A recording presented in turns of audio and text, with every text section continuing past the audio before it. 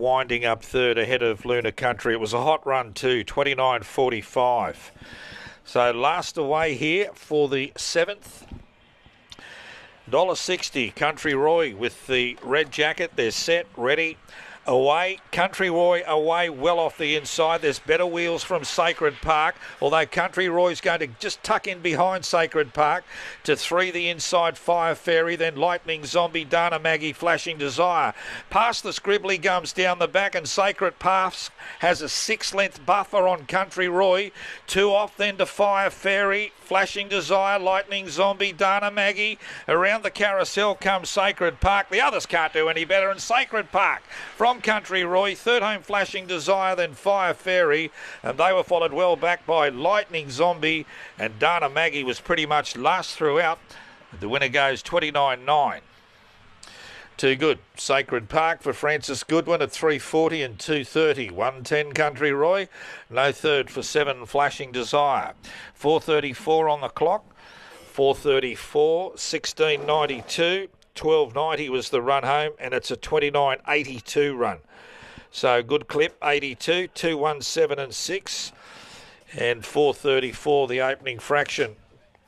Sacred Park has uh, second up, I think that was today, from a long spell. Yeah, had the one run uh, here last start, 16th of April. Prior to that, hadn't gone round since the 23rd of January.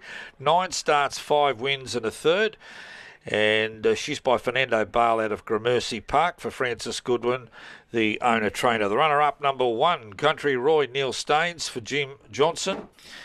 And by Fernando Bale out of Spring Arena. Got out well, not as well as Sacred Park. Did get in behind the early leader and eventual winner, Sacred Park, but just Oh, they were all struggling behind Sacred Park. And seven, the black third, Flashing Desire, Robin Cooper. And he's a black dog by Marira out of Mrs. Thursday. 217 and 6, three and a half, a length and a half, 434, 29 and 82. So just rounded down a fraction there.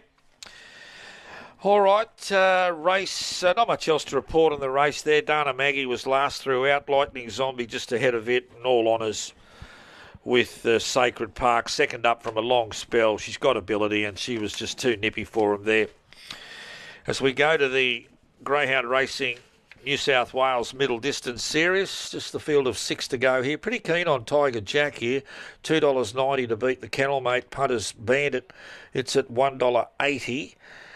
And then we got $5.50 for Silver Luck. Uh, Tiger Jack's had, uh, oh, he's had a heap of time off too. He's, uh, he's first up tonight. He's had the 245 days off, so